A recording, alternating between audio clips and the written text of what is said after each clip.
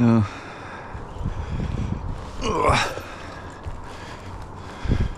have to forgive me a little bit here. Riding the riding the struggle bus. Got uh, COVID, no energy, but try and teach you something here. Coming up these little hips, it can be tricky to keep your shingles straight, so you're lining up top. But uh, a little thing you can keep in mind when you're doing them is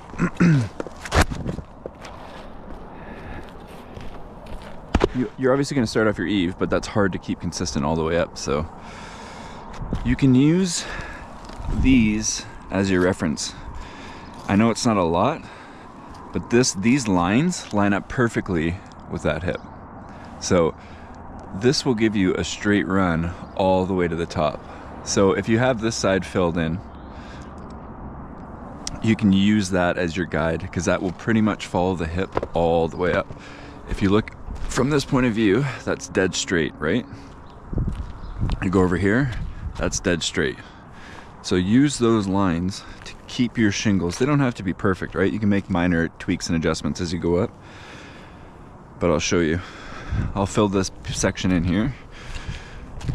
And then I'll start, I'll cut this out and then I'll start going up this hip. And I'll show you that it works. Ugh. Need more nails. Need more nails.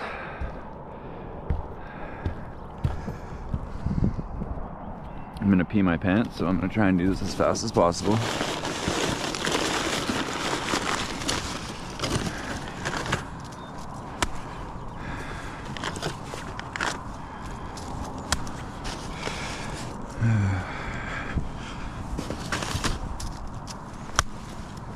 Got some stuff going.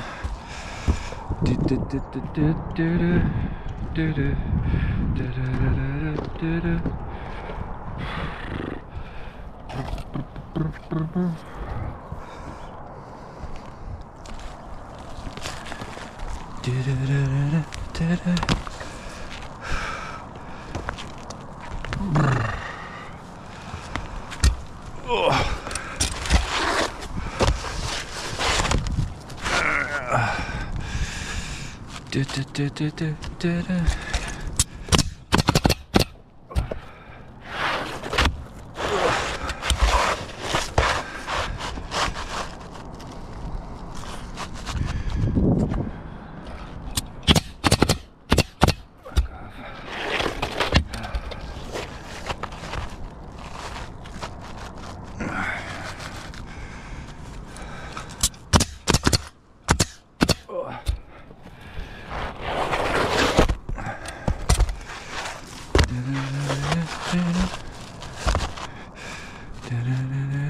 I hate when these shingles do this.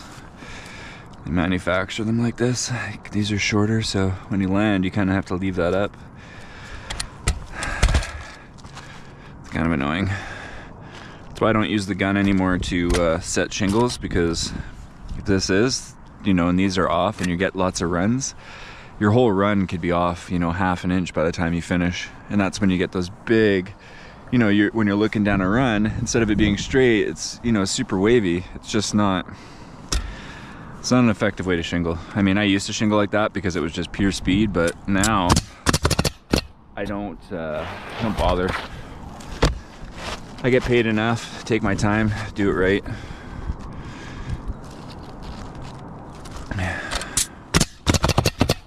Oh. As I nail the edge of the shingle.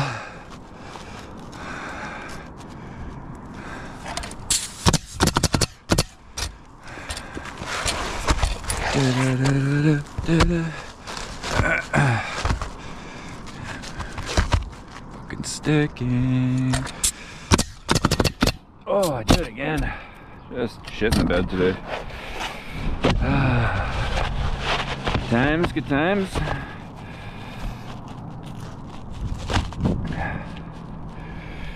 Yeah, fuck COVID. You know, I, I feel okay, but um, I have no energy. None.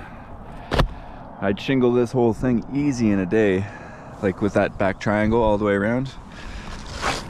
And between the rain and me being sick, it's taken me like three fucking days to get here. It's it's uh, frustrating, to say the least.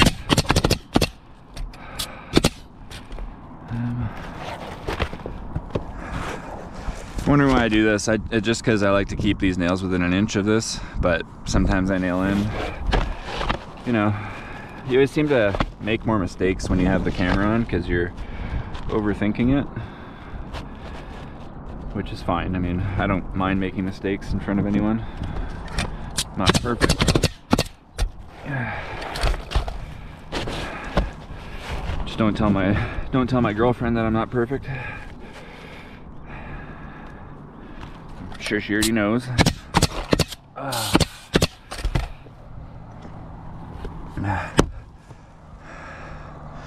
This I'm just gonna run a line. I'll come up to this and then I'll drop set or I'll drop this because this is a short section. So instead of dropping the whole the whole run, I'll try and tie these up good. I'll, I'll make a video, but I'll just drop this section because it's so small you'll never notice it.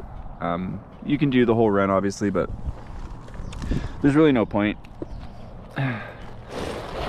I guess if it was more centered, I would do the whole run. But because it's, you know, shifted right and this is only, you know, a 10 foot section, I'm not going to worry about it. But yeah, so now that we got that in, move my stuff out of the way here.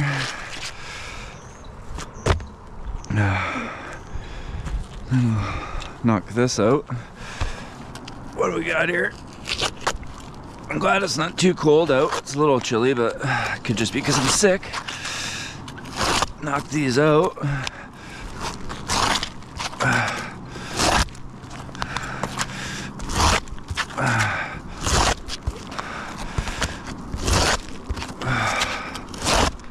Yeah, you can probably hear me breathing as I'm just out of gas.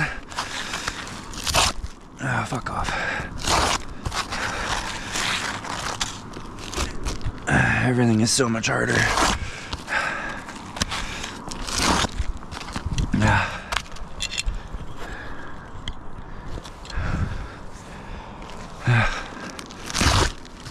mean, I always, some of you are probably wondering why I do these double nails. Um, in Canada, or, you know, northern states, when it gets cold and then you're trying to cut these, and then, you know, this is gonna wanna rip, and it's so annoying, like when you're cutting and like it catches the shingle, and then it fucking pulls your shingle up.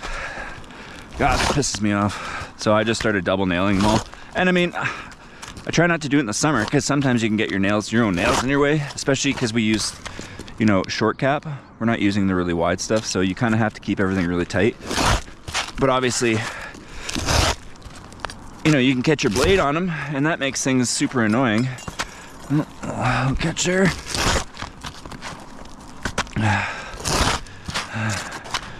And, you know, I don't really care about cutting the hip.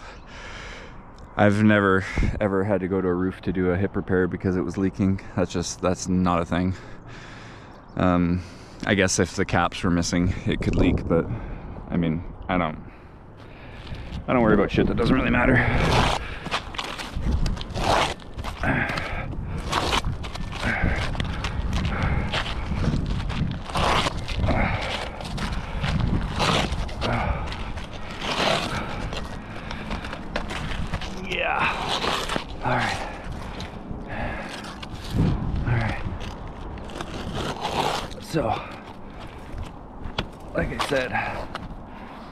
We got two different, I want to say that was a 612, that angle. This might be a 7, 7.5, I don't know.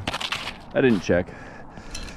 But now, see, hopefully, hopefully a half shingle covers that. That would be ideal. Otherwise, it's going to be a ton of waste. And I'm not going to piece everything in because that's just stupid.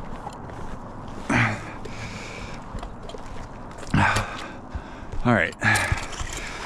So Let's try and blast this in half and hope for the best. Alright. Okay, that worked perfectly. That's fucking awesome. Oh, you see, uh, these shingles again, they're short. It's very annoying. Okay. So, you can start running up. You can use your eave, obviously, for the first little bit. Yada yada. Yeah, see, when they don't sit, it just makes setting these fucking annoying. But that's why I'm teaching you this trick. So if your shingles do start twisting, you have a reference. Yeah, like see, that's very fucking... when the shingles aren't cut grid, you have these huge gaps. It's just, I don't know, it's stupid. Let's see if I can't. Ah, fuck. Whatever. Just try and eyeball it, I guess.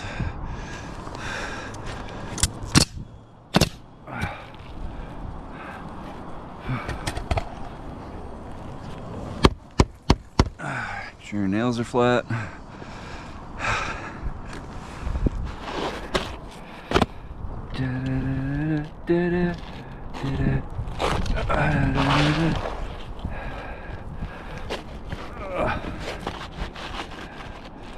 So yeah, this is an okay shingle.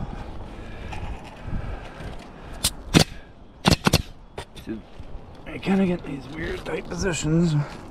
I'm six foot three, so I'm always kind of putting myself in funny spots.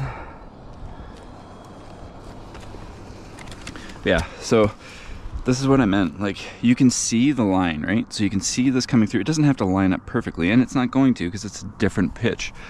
But you can get a reference of straightness, okay? Get a reference of straightness.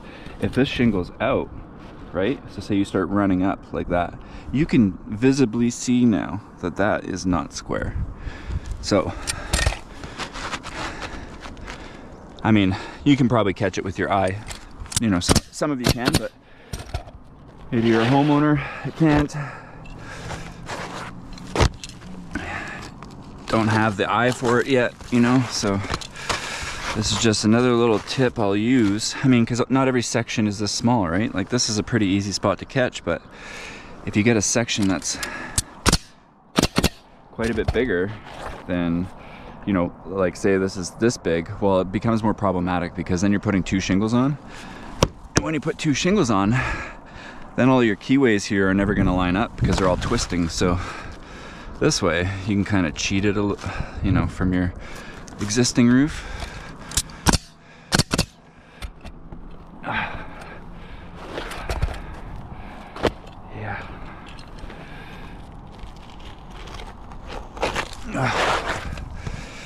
I mean, I hope it warms up a little bit because my fever that I had with the wind and the cold, it's not awesome.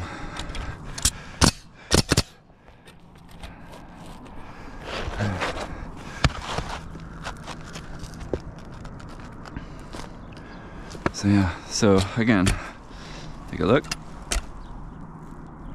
Might be twisting up a little even still, and I'm only just there.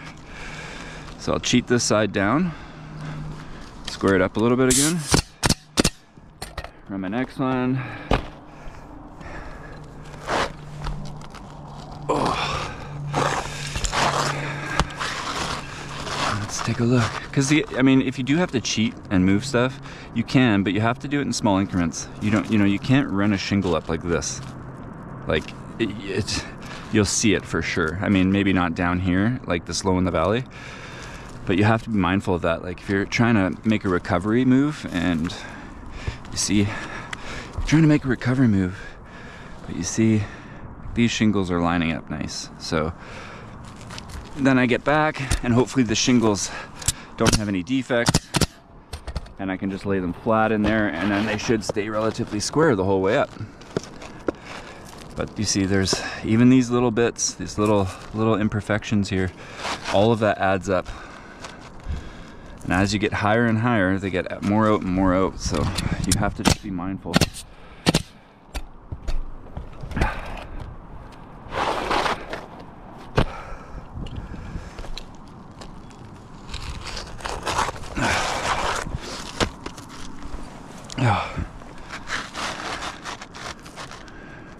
Yeah, like this one again. It's fucking annoying me. And yeah, you could obviously just not use those shingles, but I don't pay for the shingles. I sub. So I'm not gonna just start burning bundles because, you know, I don't like something.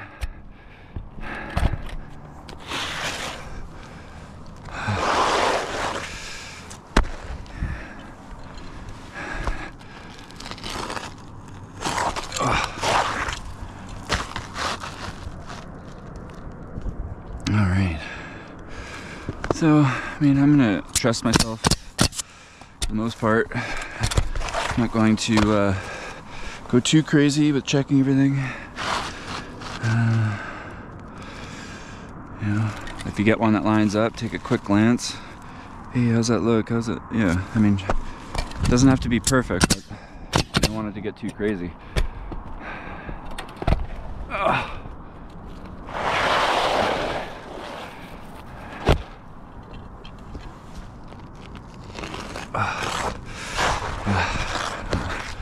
Hopefully I got to change out that stack. It was raining uh, yesterday, so I had to just seal it because it's not the right one. Uh, I was worried about water getting down in there, so I just fucking sealed the shit out of it and left it overnight like that. yeah, these shingles are fucked. I mean, the shingles are fine, but just annoying when you're talking about consistency. Trying to keep everything straight. Straight-ish. See, because when you're looking at this from a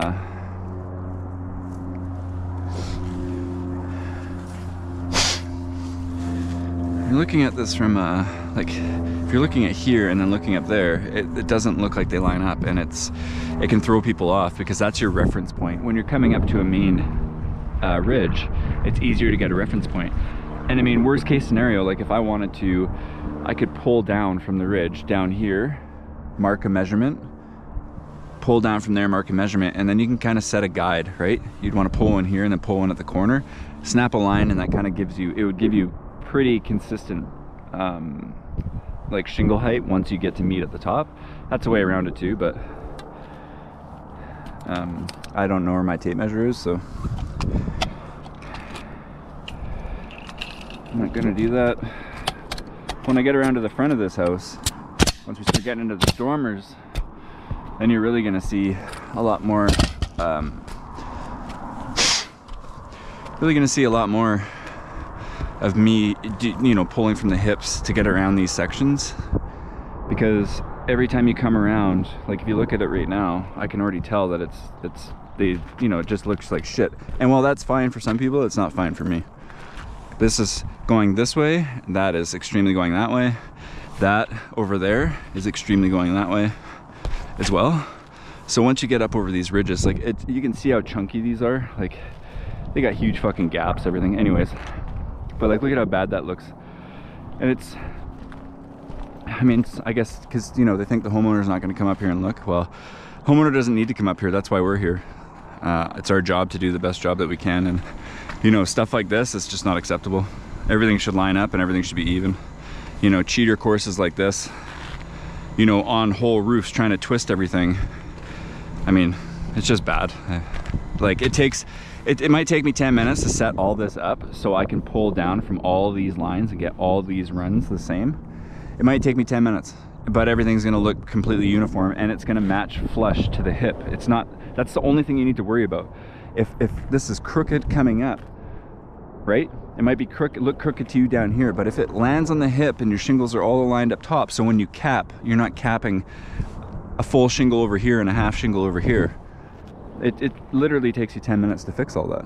But people, I don't know, for some reason, they think they don't get paid enough, which is complete garbage because we get paid a lot of money to do this job. So, you know, when we're looking at these lines, I don't care if it takes me a little bit of extra time to get all these right. Like, I, I just don't care. I would rather this little section look uniform to anybody that ever came up on this roof and was like, oh yeah, these guys knew what they were doing. Versus, you know, looking like that front section, which is, you know, just awful.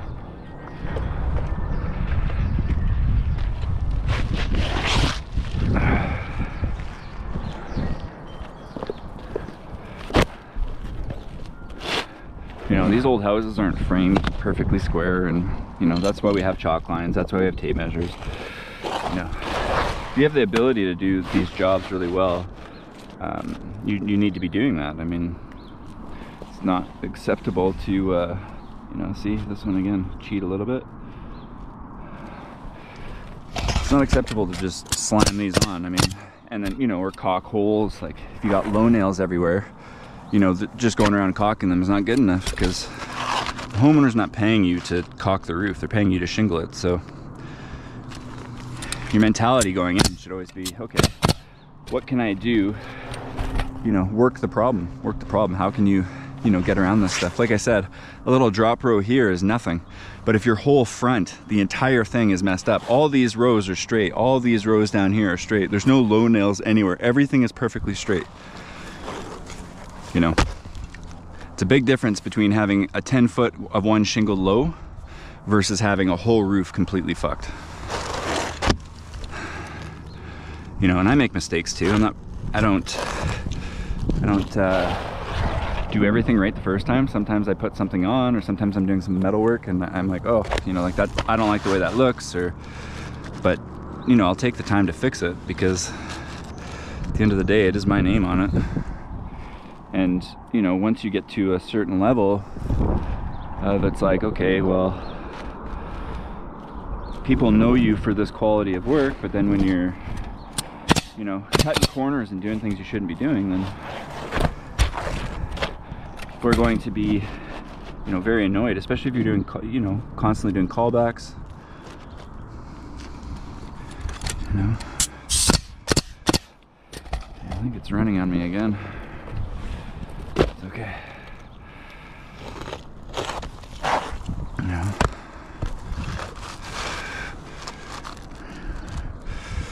Let's take a look. Mm, and it's pretty good.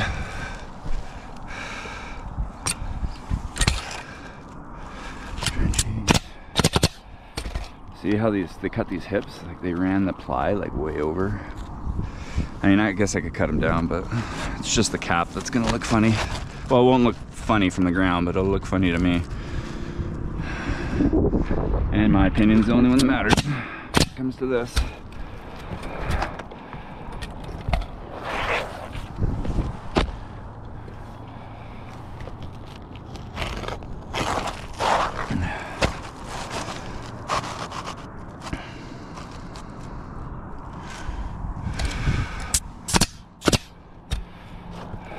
should cut pretty good now, so I might not have to keep doing that nail. An extra gimme nail there. we got here? we got here? What are we looking like? What are we looking like? Look fucking good. That's what we're looking like. Oh, fuck. You know, if you get a rollover or a little blow through like that, just put another nail in. Don't be fucking lazy.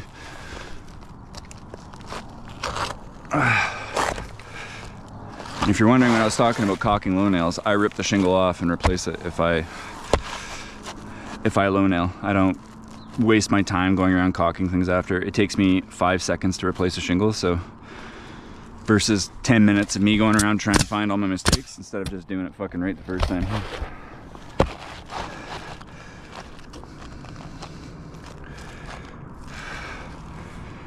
Good guess there.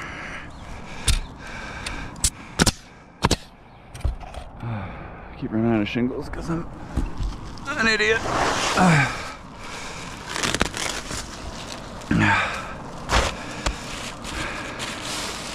My lunch there, looking good.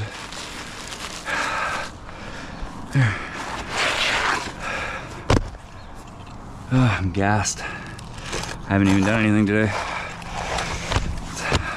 Being sick's the worst when you're doing this job. Fucking annoying.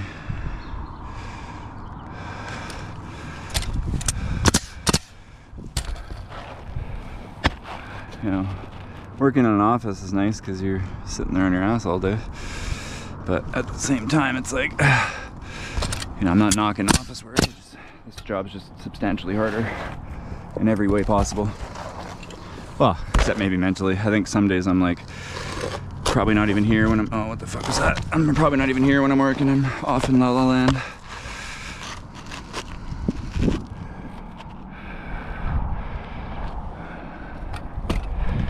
See that line?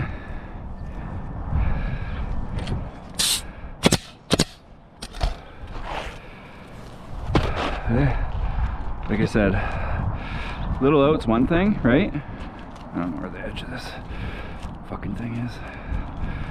It's about right here. Where is it? Yeah. Little cheat. Keeps you on track, right? You don't want to be fucking eating shingles. Let's see how we're looking. Ugh, idiot. Ugh. See, now when I go to cap back, it's gonna sit. You want it to sit square. I mean, and again, I'm probably just being too picky because it's such a small area, but I think it's probably just habit, right? Like you just trying to keep instead of slamming everything in. I'm, you know, and I'm, I'm trying to teach you how to do it. I, I wouldn't necessarily um, spend that much time doing it. Plus, I'm sick, so I don't mind taking my time. Like really taking my time to slow down to talk to you, to show you how to set these valleys. Um, but yeah, I mean, like everything looks uniform. There's uh, like a couple imperfections inside the valley because I said those the way that they milled those shingles are not perfectly square in the bottom. And I mean, it's it's like that all over. Like there's really I'm not gonna ship back all these. You know, this is 130 bundles in total, so I'm not gonna start shipping shit back to, you know, to, to it's cosmetic stuff, but it's again, it makes it more annoying. But yeah, so you want to set your valleys set these hips cut these hips that's ready for cap. Now I got to cut that off do the same on that side that's ready for cap. You know I'm just gonna chip chip away at this till it's done. The next video once I get everything wrapped up and I start capping then I'll you know we'll go through and I'll show you how everything looks at the end right? How that cap looks nicely on the ridge and uniformity is important to me. Um, yeah see these gaps? This is another this pitch would have been good for running these because it gives you a nice huge gap but you kind of work with you want. I mean if you get in, in around the five inch mark like this side is for your steps I mean that's probably as small as you could possibly get. You don't want to do anything smaller than that because um, you're gonna it, if, if if snow and ice are settling it's gonna leak. You need to have that separation between the seams. There's a reason that you know six inches is approximately what you need across the board like all this right?